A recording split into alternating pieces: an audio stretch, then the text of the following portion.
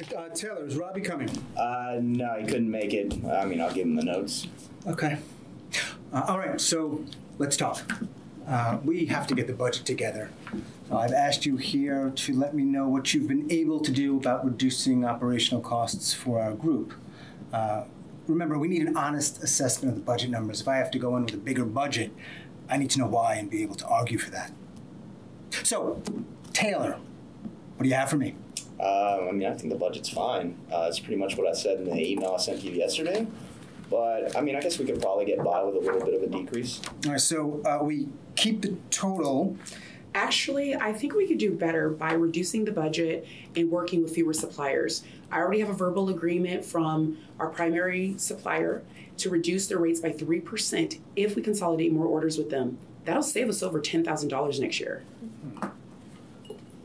Taylor, what do you think? Um,